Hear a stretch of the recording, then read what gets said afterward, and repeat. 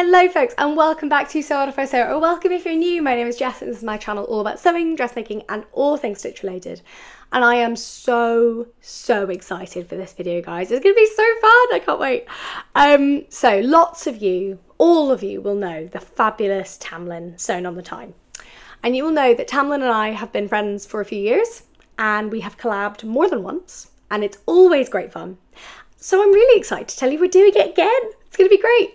Uh, I love Tamlyn's channel. I love her account. I love her makes. And she's also just an absolute joy. I loved having her on the podcast in season one as well. She's just brilliant. Go listen to that episode, by the way, all about sewing events. If you haven't heard it, it's a great one. Um, but she's all round a brilliant person. And back when I did my Make Nine in Oof, I want to say December, January. When when do we do make nine? My God, my brain. Um, January, when I set my make nine, the chalk and Notch Shay is on there, and I know it's um, pattern Tamlyn has been wanting to make as well. So we messaged each other and we were like, "Do you want to collab? Let's do it." Oh my god, let's do it. And we were like, "Okay, right, right, we'll do it in April because we'll have plenty of time between now and then." And then life happened, and then we were like, "Should we, should we do June? Let's let's do June. That's a better idea. Let's do June." Um, so it's I'm so glad it's come to fruition. I'm so glad to be making this the chalk and notch Shay has been on my bucket list for a while, um, and that's why I put it on my Make 9 this year to really make sure I had a go with it. Because it's been on my Christmas list like two years running, and no one has got it for me. By the way, does anyone have this problem where their relatives don't get them sewing stuff? Like, even it's on the list, guys. I'd get it if they were like, I don't know what to get you, so I don't get you anything. Fair enough. But like, it's on, I do a Christmas list, it's on there, and like, without fail, no one buys me anything sewing related. And I'm like, sad. Um, so, side note. Anyway, I finally got hold of the Shay pattern. I actually bought it in the Me Made May, no, Me Made May sale. There we go. Honestly. Um, and I was like, right, there's a discount on it. Let's do it. Let's make it happen. And I am so excited, guys. So the chalk and notch Shay looks like this. If you haven't seen it before, uh, it is. There are two views. So there's either a without buttons, zip at the back, sort of continuous princess seam front with the sleeves, um, or without sleeves. You can both you can do both views with or without sleeves. Or there's view B, which is what I'm making. Again, I've put the views on screen here, um, with the buttons all the way down the front because I really like the way that looked. Now, chalk and notch. They really have my heart in a lot of ways. I love them as a pattern brand. I love the style of their patterns, but also contentious, I know. I think they have the best instructions of any indie pattern, and you guys know I hate instructions. But the chalk and notch ones, they're great. I'm, I'm about it. I love it. So, for the chalk and notch Shay, I was a bit like, what do I sew it with? What size do I make? All that kind of stuff. Um, and I came to the conclusion I feel entirely comfortable not twirling it and that's for three core reasons. Firstly, the chalk and notch block is basically exactly my body measurements. I I fit the chalk and notch block really, really well just out of the box. So I'm really happy with that. Secondly, it's a princess seam, which already always sits better on my body. I have the type of body for princess seams Darts can look a bit pointy on me and it's a bit weird, uh, but princess seams really are my vibe and I find it much easier to know exactly, even when I'm cutting out a princess seam, if I'm like, oh, that's going to fit, that's not going to fit. Like I know just by looking if it's going to work for me and I know it's just a nicer shape on me, so I feel more comfortable again that I'm going to get a positive result. And thirdly, I would say it's pretty much in my wheelhouse. That's that's what I would say. It's it's in my wheelhouse. Like it's a princess seam, it's a button down the front, it's a longer dress, but it's it's gathered, it's tiered. Now, I, I am nervous because the Closet Core Knits promised me it would be like this and it just wasn't and it did not work on me at all. But the Chalk and Notch Shay, I've seen so many beautiful versions. And again, as I've said, the Chalk and Notch patterns fit me really well. So I'm hoping it's going to be a success. Now, I'm going to tell you a little bit about the pattern. I have notes, guys. I wrote stuff down. Can you believe it? So, the chalk and notch Shay is available from a size 0 to a size 30. I should say we're not sponsored, by the way. Um, it's just, I think it's useful for me to start telling you information about the pattern, not just assume you know it. I'll link it below, obviously. Um, so, a size 0 in this instance is a 25 inch waist, and it goes up to a 49 inch waist in the size 30. Now, let me tell you exactly why Chalk and Notch make me happy. So, they put, and please take note, other pattern companies, they put the high bust in when they put their different cup sizes. So there's four cup sizes available, an A to a D, which is a dressmaking A to a D. And that means the D is a four inch difference between your high bust and your full bust. Now, that for me is my standard, that's what I need. But lots of patterns just put bust B cup, bust D cup, and they don't tell you the high bust and it drives me up the wall. Whereas Chalk and Notch have a lovely detailed size chart. I'm going to stick it there actually because it is useful just to see the examples. So you pick your high bust and then you pick the cup size that is relevant. So for me, I'll be making a size 2 and that means the high bust is 31, which is what I am.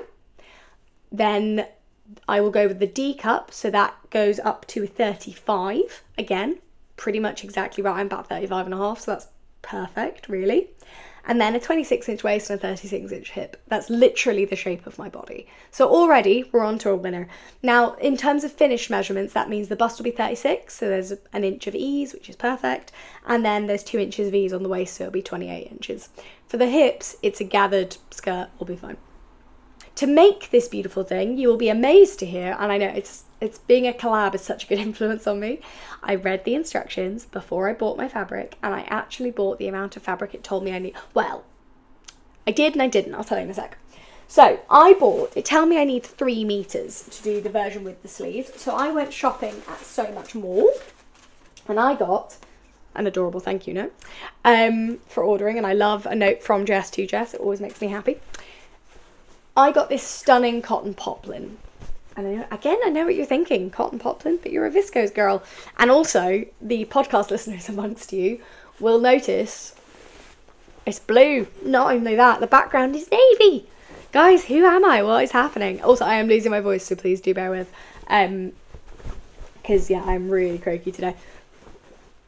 So, why have I broken my pretty much ban on blue? Well, for a couple of reasons. Firstly, because of the light blue flowers, I'm going to hold it up like there so you can see it, and the little red ones and little green bits, I feel like it's, it's broken up enough that it's going to work with my skin tone. It's not going to make me look as matronly. Um, also, the ditzy print worked really well. But also, it's because it's one big dress. I have nothing in my wardrobe that will go with navy if I wear it on its own, like navy trousers or a navy top. That's not going to happen. And also, I hate it. I absolutely hate it. It looks beautiful on other people, but I look horrendous. However, with one big dress with a very light print, really as the focus, and then a darker background, but with a whole sort of tiered dress, buttons, etc., I think that's going to look really pretty and it won't make me look like a big sort of matronly monolith. Um, Sam keeps joking she's going to buy me a matron's cap, um, which she's not allowed to do. Um, but I think it will break my blue curse a little bit. That doesn't mean I'm going to start sewing loads of blue, but I am excited. I saw this fabric and thought it looked really nice. It's also, it is cotton poplin, and there are two reasons I've gone with cotton poplin. Firstly, this pattern has structured sleeves, pin tucks, button plackets, princess seams, there's a lot of construction going on. And what I would really like to be able to do is press my pin tucks so they're so sharp with the iron that I can just sew along them. Can I do that with viscose? Yes, but it's an absolute pain. Can I do it incredibly easily with cotton? Yes, I can. It's going to be so much easier. I just thought, since I'm tackling a slightly more technically difficult pattern, it's not difficult, but it's like more technically demanding, that I would make sure I had a fabric that would make like make my life a little bit easier. Plus, it will soften as it wears, so it will end up quite floaty. And the other reason is I I should probably tell you my why. Not only do I want this in my wardrobe, I am attending and presenting at an international conference in July. And I a would really like a dress to wear and feel professional and feel confident and feel really good in and look good in photos. But also, it's going to be really hot and I run very warm. So I want a dress that is not obvious if I'm sweating and that I don't overheat in like stuffy lecture theatres and stuff in. So I thought cotton was the way to go. I am increasingly leaning towards more and more cotton garments because I really like how breathable they are. Um, so that is my reasoning. I know a little bit different, but why not? I also got my buttons from Sew Much Moor. I didn't realise they did buttons, so this is your sign to go buy some buttons. I bought a number of buttons. I can't remember what number, but there they are, the little navy ones. So they are going to go all the way down the middle. I thought darker was nice, to be fair. I didn't want to make too much of a feature of my buttons, just in case I mess them up. And then if I don't mess them up, it's, it's a lovely surprise. But it's just less pressure on my head, which I like. So, what is the plan for this video? Tamlyn and I will talk about our fabrics. I'll link her video as well below so you can see what she's going to make hers in, what view she's going to make, all her design decisions. And then we will go away and we will make them and then we will reveal them at the end of June. The conference I am going to is at the end of June, so it works quite well. I can show you it while I'm in the Netherlands and then hopefully while I'm presenting in Glasgow two weeks after, I'll get some good photos in it as well. I am nervous, guys. I am nervous because, as always, when I'm sewing a new pattern that looks stunning on other people but also is long and ruched and has lots of layers, there is a bit of my brain going, you're going to look like a Jane Austen aunt. But I think the Shay is the right type of pattern for me. It's got a low enough neck, which for me always makes a bit of a difference. Like, just if you look at my body, I am five foot two, but I'm petite, luckily so I am in proportion. But it means if I wear a very long dress with a very high neck, I have a tendency to look like a pepper pot, which I know sounds silly, but it's it, it's it just doesn't really work. Like you end up with a sort of hovercraft effect of being all dress and it's sort of floating along the ground. It's fine if it's like slinky. That's fine because then you can still see that there's a person in there. Um, so I am a bit nervous because the Closet Core Knits did not work out how I wanted it to. But I feel a lot more confident in the chalk and notch pattern, in the pattern drafting. I've, I've made a lot of their patterns very successfully. I mean, the fringe I've got like three of. I'm making, as you guys know, another Marcel. Um, God, this really is the month of chalk and notch actually, because the two main things I'm making this month are both chalk and notch. Um, but I have confidence in their pattern and the way it fits my body, and I like the lower neck and I like the open sleeve, the tie. I like the um, the layers, but it's also open a little bit at the bottom so you can actually move. Like, I think it's going to be really good. I'm just trying not to get in my own head. I'm also really excited. I now have, I actually, oh my God, I have a full-sized ironing board. Guys, it's been too long. It's four years without a full-sized ironing board. It's driving me mad. Um, so I am delighted that I can actually iron this dress properly. And that sounds silly, but I'm working with three meters worth of fabric. I'm also doing stuff like pin tucks. I'm doing I'm ironing gathers. So the deal is I'm gonna I'm gonna take it seriously. I'm not gonna film making it because I want to concentrate and actually do it properly. But also, like with the full size ironing board, really being able to actually get around and take the time to iron my gathers and overlock everything and just because this I, I just want to feel professional. I want to feel pretty as well, but not too young. And I, want to feel good. The other reason I should say, by the way, I am going more ginger. You will have noticed I've gone a little bit more ginger at the ends. Um, but I want to go less sort of almost strawberry blonde type vibes. And I'm doing that just before I go to conference. And I think this will go really, really nicely with sort of gingery hair. So I think I'm really pretty.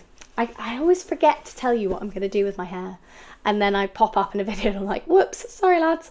Um, so yeah, I am really excited. It's going to be great. Make sure you go and watch Tamlyn's video as well to see what she's going to be making and how and why and um, well, I say what she's going to be making. Hopefully, she's making the chalk and notch Shay.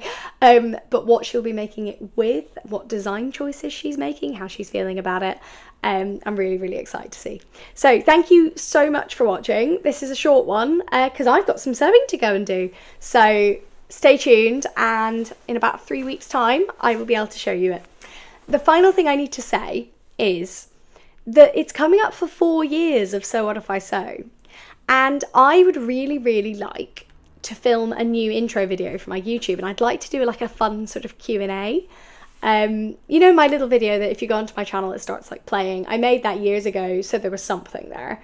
Um, but I'd love to do like a bit more of a Q&A and a bit more of a chat and stuff. So if you guys have questions, I would love you to send them in either on here or on Instagram and I'll compile them and I'll film like a fun sort of um, behind the scenes Q&A uh, next time I'm vlogging and to yeah I just I just want to celebrate four years. So if you've got questions if you want me to talk about stuff please do.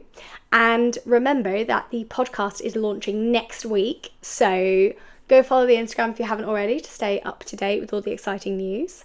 And I can't wait to bring you episode one of season two as well. So thank you guys so much for watching. See you next time